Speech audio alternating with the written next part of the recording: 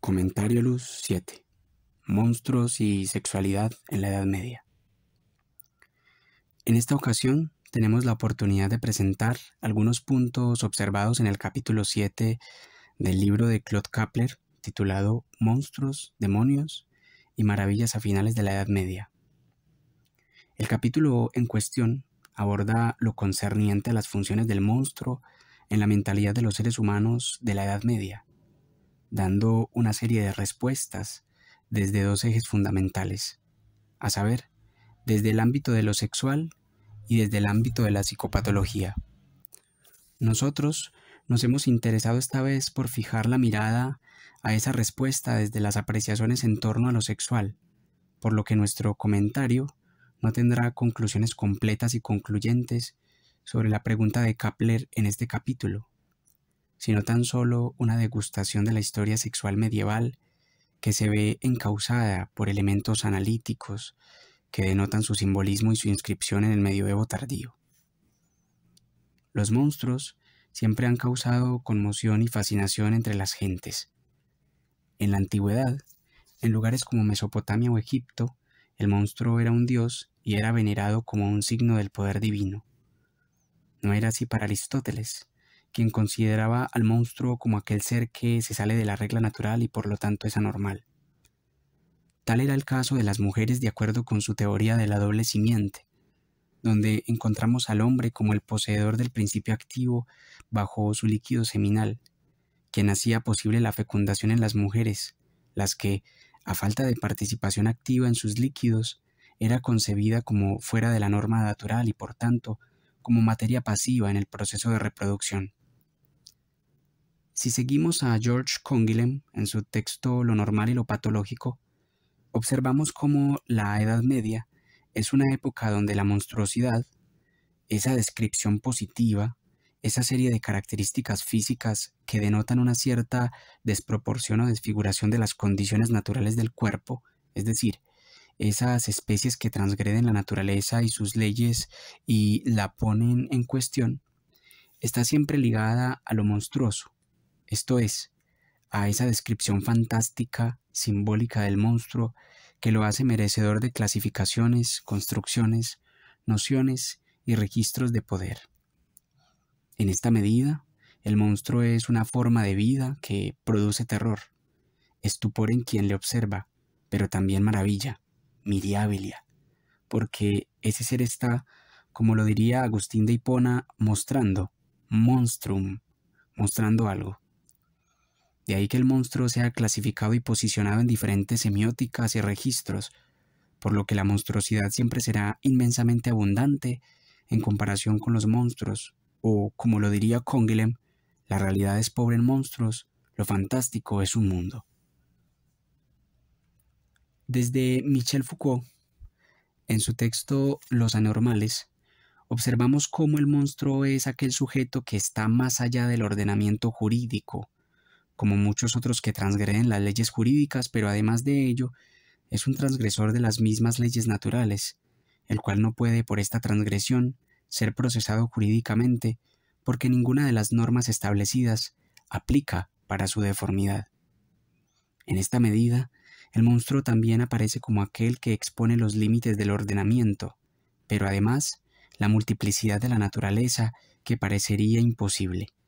Más aún, con el paso del tiempo, esta multiplicidad solo será interpretada como un producto incompleto del proceso natural, generando así, desde una mirada científica, una separación entre la monstruosidad y lo monstruoso, a través de disciplinas como la embriología, la teratología y la naciente genética. Pero esa aparición constante del monstruo no solo nos cuestiona sobre el papel ostensivo que ha jugado a lo largo de la historia, sino también por su función psíquica y simbólica dentro del entramado social en el tiempo. Generalmente hemos relegado el monstruo a la época oscura de la Edad Media, suponiendo que el humanismo, el siglo francés y la Ilustración han superado al monstruo. Sin embargo, hasta el día de hoy observamos con inquietud las representaciones de Hieronymus Bosch o los límites entre el cuerpo humano y el robot, entre el cyborg y la sociedad transhumanista. Es evidente que todavía consideramos a la Edad Media como una fábrica de monstruos, como una edad oscura y de pestes, donde no sería extraño esperar que se crearan estas representaciones de lo monstruoso. Sin embargo, podemos evidenciar que es especialmente a finales de la Edad Media y en el Renacimiento donde aflora la imaginación y la originalidad ilimitada sobre los monstruos. Así pues, los monstruos medievales no solo son productos de una época, ellos se mezclan con las clasificaciones de los antiguos. Los monstruos de estos son un medio de corroboración y contrastación para los monstruos de aquellos. Estos seres pueden aparecer representados de modo diverso según el paso del tiempo y sus clasificaciones, según sus representaciones y manifestaciones, pero pese a esta diversidad, algo sí es seguro. Hay un acervo compartido en toda significación de los monstruos. En la actualidad, y en lo tocante al siglo XX, a diferencia de quienes fueron acusados en la Edad Media, el enfermo ya no es acusado, sino que se acusa a sí mismo. Según Kapler, en la actualidad el atormentado se siente culpable de haber vivido tanto tiempo con el sentimiento de culpabilidad. Y es que hoy el verdugo y la víctima han superado su escisión y ya no hay necesidad de un inquisidor que obligue a declarar. Uno mismo declara su aspecto patológico.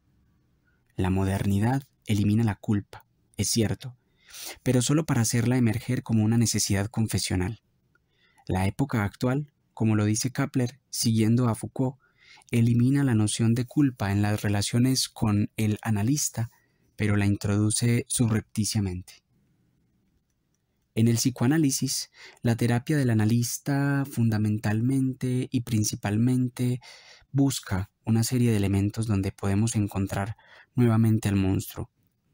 Desde este enfoque se ingresa al mundo oscuro, donde hay sueños, arte infantil, surrealismo, asociaciones libres, dibujos, descripciones, que hacen del monstruo un vértice frecuente. Frente a este mundo oscuro hay una pretensión, salir al encuentro de lo reprimido, de aquello que se halla de manera latente pero que puede mostrar, nuevamente monstrum, las pulsaciones más profundas. Como el mismo Freud lo decía al respecto del sueño, es precisamente en este espacio donde se produce la satisfacción más íntima de nuestros deseos reprimidos, donde las pulsaciones más profundas se expresan con mayor libertad y lo hacen de manera libre, se sirven de los monstruos para ello. El monstruo es, por tanto, un medio por el cual podemos acercarnos al alma humana. Bajo sus representaciones se manifiestan los secretos profundos, los deseos reprimidos, las pulsiones interiores. Pero debemos decir que, además, es también un instrumento terapéutico. Su proyección es una racionalización de lo más instintivo y pulsional. Es bajo la figura del monstruo que definimos lo profundo y así lo exorcizamos, lo juzgamos y nos liberamos. Es curioso, pues, que el monstruo se nos aparezca desde este análisis de la psique como una racionalidad, pese a todo el carácter irracional que histórica y popularmente suele cargar. El monstruo activa un doble mecanismo. Es una proyección de fantasmas y a su vez una recreación de la realidad. El monstruo que nos ha perseguido como figuración de nuestras profundidades mentales encierra una condición paradójica.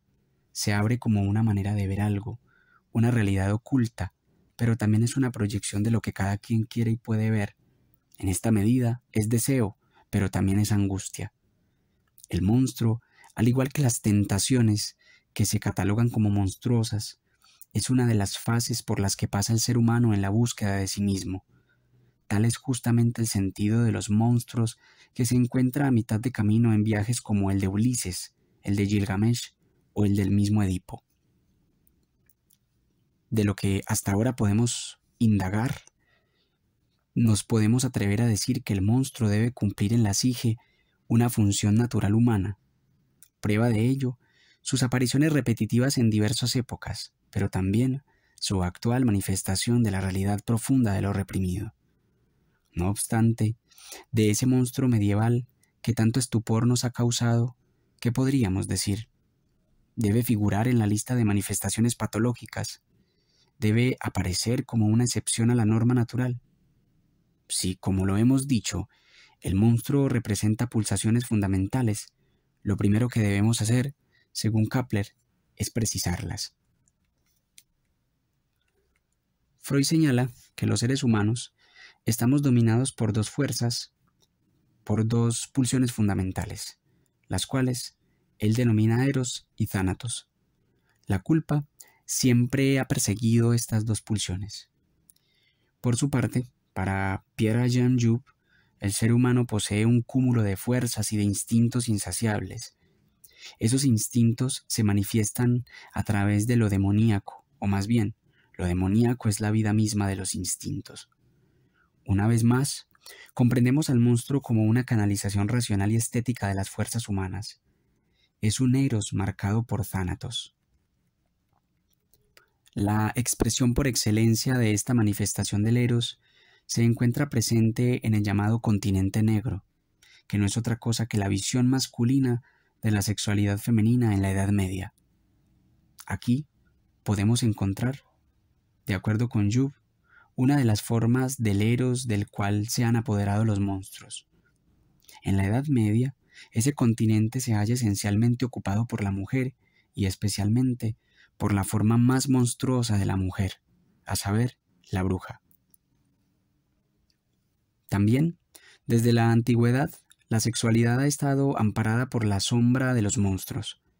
La esfinge ya la encontramos emparentada con aspectos femeninos y animalescos, a tal punto relacionada con lo sexual que ayuda a darle nombre a uno de los complejos del psicoanálisis. En las diversas culturas antiguas encontramos divinidades de la fertilidad, dotadas de diversos atributos monstruosos, relacionadas con lo animal, con lo masculino y lo femenino. Polímastas, como Diana de Éfeso, pero también viriles, como Mout, la diosa egipcia de cabeza de buitre. La frecuencia de ciertos animales considerados bajo un carácter maléfico para representar la sexualidad es notable. La serpiente y el dragón están presentes como símbolos de la seducción, en el Apocalipsis, el dragón aparece como una de las manifestaciones de la bestia llamado como la ramera, la cual estaba adherida a reyes de diversos países. Notamos, pues, la relación entre las pasiones sexuales y lo demoníaco, lo maléfico, lo monstruoso desde la perspectiva bíblica. La multiplicidad de representaciones se hace notar, hecho que coincide con Casiano cuando la manifiesta la existencia de tantos espíritus impuros como deseos perversos hay en el hombre. El Maleus Maleficarum incluye a los sátiros, representantes de la fertilidad, entre las criaturas semejantes a los demonios. El mismo texto traduce las especies de faunos y lutinos como incubos. De acuerdo con San Isidro, esta palabra proviene del término acostarse encima, aludiendo al acto de violar. Pese a todo, el temor del Maleus va más allá de estos gestos graciosos de los monstruos que no se pueden comparar con los posesos o incluso con el mismo anticristo, el cual también es representado con un aspecto salvaje. En el pórtico de Moissac, donde aparece bajo sus aliadas la divicia, la avaricia y la luxuria, se presenta a esta última bajo la imagen de una mujer con serpientes. Vemos pues que la lujuria se ve encarnada por figuras femeninas, masculinas, pero también por figuras bisexuales. Representaciones del demonio a finales de la Edad Media se verán abundantes donde estarán los senos de mujer, unos senos abultados y hacia abajo. Durero representa muchos de sus demonios bajo esta denominación. Observamos que es a finales de la Edad Media que aparece con mayor frecuencia en estos demonios, sus pechos de mujer, en una época en que cada vez más el simbolismo femenino se carga de culpabilidad y maldición. La mujer, y de manera progresiva la bruja, se convertirán en un símbolo no solo diabólico, sino esencialmente monstruoso. En el siglo XV encontramos un apogeo de esta visión que recae sobre la mujer y la bruja, la cual se hace evidente en los primeros manuales inquisitoriales. Prueba de ello el ya mencionado Maleus Maleficarum preparado por Henry Kramer. Pero, ¿por qué es la mujer la que termina por encarnar los terrores de la sexualidad? La primera respuesta debe tener en cuenta las condiciones históricas de la Edad Media. Si bien podemos decir que cada sexo puede ver en su opuesto un monstruo en una sociedad igualitaria, sin embargo, en una sociedad donde quien escribe y posee el derecho a hablar es el hombre, no cabría más que esperar una proliferación de discursos que apuntan a la monstruosidad especialmente en un solo sentido. En el siglo XIII, por ejemplo, las sirenas femeninas de Brunetto Latini, que se vale tanto de las variantes grecorromanas con cuerpos de pájaros y alas, y las versiones célticas con cola de pez, expresan el tinte maléfico del amor aludiendo a las alas y uñas como el amor que vuela y hiere y que vive en el agua, porque el amor nace de la humedad. Humedad principalmente adjudicada a la mujer, y por ello ésta, como el amor, es malévola. La mujer y la bruja recogerán el miedo a la muerte, a las pestes, a la oscuridad propia de la época. Ellas harán las veces de chivo expiatorio de los males y miasmas sociales. Prueba de ello es la mujer nocturna, la mujer del Shabbat, que copula con el demonio y trae al mundo diversidad de males y especialmente monstruos, productos de esa relación. Esta es la raíz de toda esencia contra natura. Sin embargo, la mujer no necesita pactar con el demonio para ser impura. La repetición del ciclo menstrual ya le otorgaba un carácter de impureza, incluso desde la tradición hebrea. Para Ambroise Paré, una relación sexual dentro del ciclo menstrual implicaba la producción de monstruosidad, ya que era el momento de su purga. Y que el periodo menstrual sea un proceso de purga acarrea un sentido pernicioso.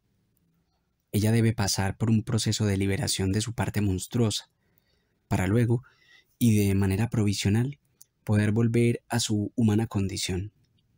Esta expulsión de la llamada sangre ponzoñosa nos trae a colación historias como la del hombre lobo, que tiene también un periodo menstrual en el cual se produce su monstruosidad.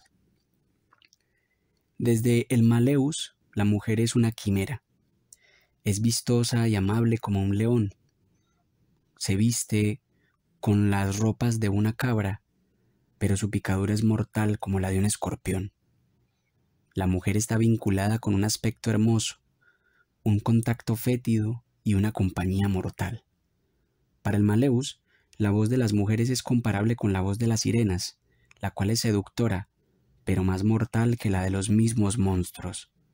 Ella, por tanto, es monstruo de monstruos, es más amarga que la muerte, e incluso siendo buena, se deja caer en sus debilidades.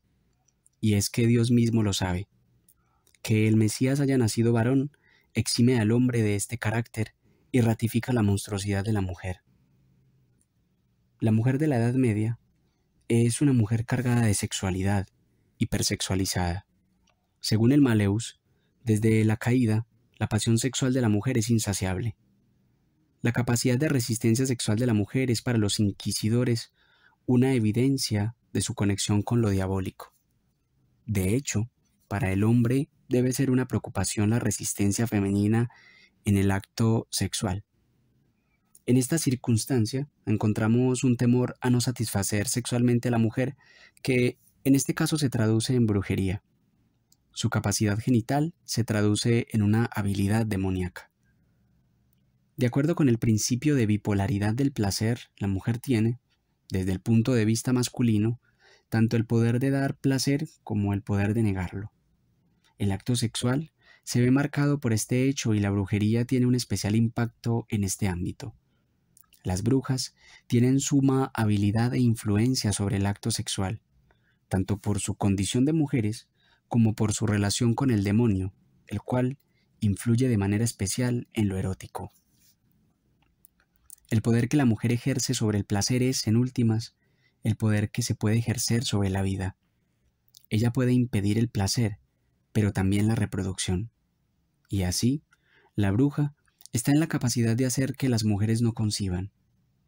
Una de las bulas de Inocencio VII reúne todas estas fobias y resume los siete métodos, número que no es casual, para infectar mágicamente el acto venéreo e incluso el feto concebido.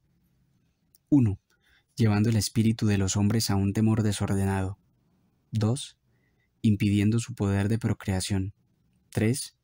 Escamoteando el miembro propio para el acto. 4. Transformando mágicamente a los hombres en animales varios. 5. Impidiendo la fecundidad de la mujer. 6. Provocando abortos. Y séptimo, ofreciendo los niños a los demonios. En esta medida, la mujer, que tiene el poder sobre la reproducción y la vida, sobre el sexo y el placer, es así temida, pero a su vez reconocida como diosa, como Cibeles, que puede dar vida pero también muerte, la fecundidad por la muerte, como en el caso de Gilgamesh, quien reconoce que de cualquier manera está perdido con Ishtar, diosa de la hambruna y la muerte cuando Gilgamesh le rechaza. También en la diosa Demeter encontramos este carácter. Las brujas eran acusadas del asesinato de niños para preparar ungüentos que, que, les transportaba mágicamente de un lugar a otro, así como del robo de hostias y de la práctica de orgías, situación que también se les adjudicaba a los judíos, ya que éstos estaban relacionados con la circuncisión como una práctica obsesiva. Judíos y mujeres encarnaban desde diferentes escenarios una sola fobia. Aquellos como verdadera encarnación del demonio, estas como acompañantes del demonio. Al respecto de los anteriores métodos se cuestionaba que las brujas pudieran desaparecer el miembro viril masculino. Sin embargo, estaban aliadas con aquellos malignos que sí podían hacerlo. Era corriente decir que las brujas coleccionaban falos o que los escondían entre pajareras y nidos. Este relato se relaciona estrechamente con la tradición helenística de los falos alados que la Scout incluye dentro de su clasificación de los monstruos. En tanto que la bruja podía esconder y ocultar, no solo en otros lugares, sino en su propio cabello e incluso en las partes más íntimas, era preciso, según los inquisidores, afeitar a la bruja por completo. El afeitado, especialmente en la zona genital, era una ablación simbólica del sexo, una castración contra sus poderes de castración. En esta práctica, así como en las demás anteriormente mencionadas, no deja de aparecer un deseo de desnudar a la mujer, de humillarla y de exponer su sexo y sus secretos. Este deseo inquisidor deja ver no solo una mentalidad arcaica, sino también una sexualidad enfermiza. Varios de los exterminadores de brujas eran depravados sexuales que se servían del chantaje para obtener favores sexuales y en últimas condenar a la hoguera a las mujeres procesadas. El mismo Sprenger sugiere que no extiende la práctica del afeitado hasta las zonas pudendas, rasurando tan solo la cabeza de las procesadas. Él mismo conoce las intenciones impúdicas de algunos procesos inquisitoriales, por lo que sugiere no abusar de los interrogatorios y tampoco de la tortura. Así, para escapar al monstruo mujer, capaz de castrar al hombre, de desmembrarlo, el inquisidor le hace sufrir de otra manera. La suerte que piensa le amenaza a él mismo, y al hacerlo, se comporta como una bruja a la inversa. Esa conducta del inquisidor muestra su sadismo, un erotismo incapaz de manifestarse por los caminos morales del acto genital y que se encubren en otros oficios. El temor a lo femenino se ha traducido en esta inversión de su poder sobre la reproducción bajo la tortura. Sin embargo, la mujer sigue siendo temida, tanto por su capacidad de devorar, así como por su capacidad de absorber y de castrar. Era famosa la condición de la mujer en el acto sexual como la vagina dentata.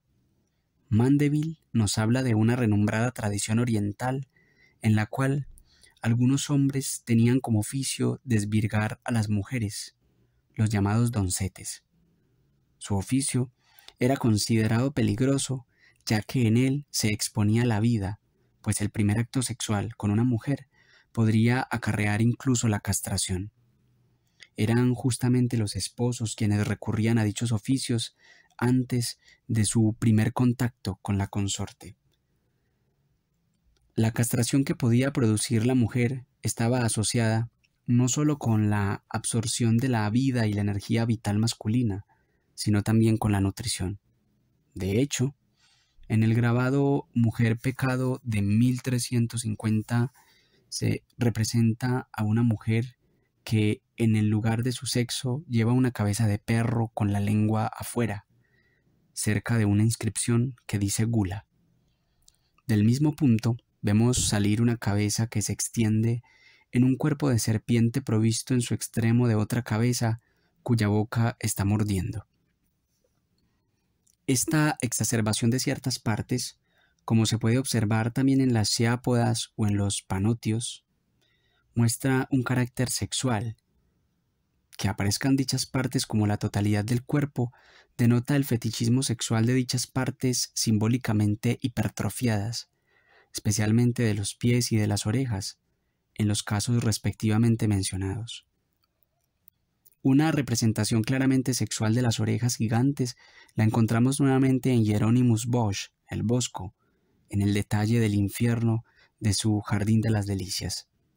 Allí se encuentran dos orejas unidas entre sí por una flecha que las traspasa y de las que sale la hoja de un cuchillo. Según Kapler, Aquí podemos evidenciar la representación tanto del miembro viril como de los fantasmas de la castración y de la penetración de un falo que atraviesa. Del mismo modo, la figura sexual y la figura devoradora coinciden en otras figuras, tales como la blemia, como Polifemo, el hijo de Poseidón, e incluso el mismo demonio, que engulle a sus cautivos y los expulsa en formas de heces como también se puede observar en el mismo jardín de las delicias. Todas estas figuras simbólicas, como atinadamente lo comenta Claude Kapler, convergen en una de las funciones más generalmente admitidas del monstruo, la de devorador, y ocurre con frecuencia que este simbolismo coincide con el simbolismo sexual femenino. De esta manera y bajo estas anotaciones, damos por concluido este comentario, esta vez buscando anotar algunos elementos de la sexualidad y la monstruosidad en los confines de la Edad Media. Hemos anotado, en primer lugar, la relación que existe entre el monstruo y la mente o el psiquismo. En ella hemos comentado dos características fundamentales que podemos evidenciar en el monstruo dentro de la mente humana o funcionando dentro de las profundidades de ese inconsciente. En primer lugar, el monstruo devela una realidad profunda del ser humano, representada de una manera peculiar, pero que invoca la racionalidad de la representación. En segundo lugar, el monstruo también nos transmite una forma de terapia, en la medida en que su representación es una definición de aquello profundo que a veces parece no ser asible, que a veces termina por ser difícil de captar, incluso para el analista. En esta medida encontramos una función fundamental en el monstruo. En el imaginario social, especialmente a finales de la Edad Media, también encontramos una relación entre el monstruo y la sexualidad. En este espectro de tiempo lo encontramos especialmente relacionado con la sexualidad femenina. La mujer se ha dado en esta época un poderoso o un gran estigma, y es que la mujer y la bruja han sido aquellas que han terminado por cargar toda la monstruosidad de la época. En este espacio Kapler nos ha permitido hablar detalladamente de cómo la mujer por naturaleza era monstruosa y solo humana provisionalmente. Los ciclos menstruales mostraban o denotaban cuando la mujer era un monstruo y cuando la mujer era un ser humano. Es como si cada mes la mujer tuviera que purificarse y purgarse para poder humanizarse. De lo contrario, la mujer se mantendría en una condición monstruosa. Esta monstruosidad le traía una serie de poderes. Fundamentalmente era la reguladora de los ciclos del placer. Era ella quien dictaminaba cuándo se podía dar el placer y cuándo se podía restringir ese placer. Por esto mismo eran las brujas, en calidad de mujeres, las que dominaban la posibilidad de castrar, la posibilidad de restringir el placer o de darlo, pero también la posibilidad de dar vida o de dar muerte. De allí que la bruja fuera fundamentalmente asociada con el asesinato de niños y también fuera principalmente relacionada con los abortos. Eso es lo que hemos visto en este capítulo al respecto de las brujas como personajes monstruosos emparentados con lo demoníaco. También hemos podido observar una relación especial entre la sangre, entre la comida y entre la sexualidad. Hemos visto en estas últimas partes cómo la sexualidad está caracterizada también por la nutrición. En algunas de las representaciones y las figuras de la Edad Media, también asociadas con figuras femeninas. Una de esas figuras que se asocia con la castración, con la comida y por lo tanto también con la sexualidad, es la figura femenina de la mujer monstruo esa mujer monstruo lleva eh, en sus partes genitales la boca de un perro con dientes. De allí la figura de la vagina dentata, de la vagina con dientes, adentada. Em, esa representación pictórica es bastante particular, además porque em, esta monstruosidad en la cual viene representada la mujer termina con una sola pata, eh, es decir, es una ciápoda, y la pata es de un ave, especialmente de un gallo.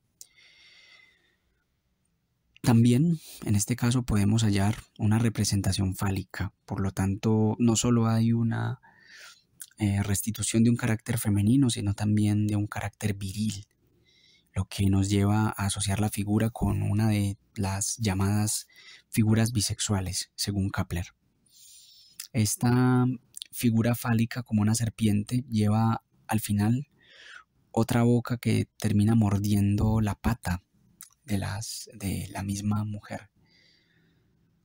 Esa representación tiene una característica particular porque justamente denota el miedo del hombre hacia la mujer, especialmente hacia su dominio sobre lo sexual. El miedo del hombre lo ha llevado a esas propuestas inquisitoriales en las cuales una serie de temores sexuales y de imposibilidades sexuales se han convertido en mecanismos para torturar y para ejercer poder sobre la mujer que ha tenido mm, virtuosamente esa posibilidad de dar vida y también de tener una habilidad en el placer. De esta manera, y evocando estas relaciones entre la monstruosidad, entre lo monstruoso, y entre el monstruo, la sexualidad y lo femenino, esperamos que podamos escucharnos en una próxima emisión.